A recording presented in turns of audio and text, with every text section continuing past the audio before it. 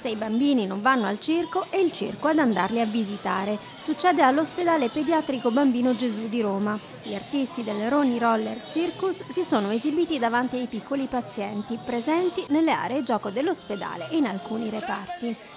15 artisti tra clown, acrobati, giocolieri hanno risposto all'iniziativa del Dicastero Vaticano per il servizio dello sviluppo umano integrale, in collaborazione con l'ospedale della Santa Sede e più piccoli hanno anche potuto cimentarsi con le arti circensi. Brava!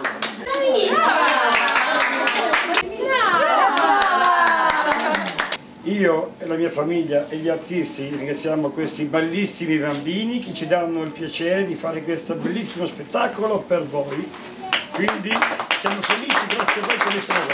Il cardinale Turkson prefetto del Dicastero per il servizio allo sviluppo umano integrale, ha salutato il personale dell'ospedale definendo gli operatori sanitari espressioni concrete della misericordia di Dio.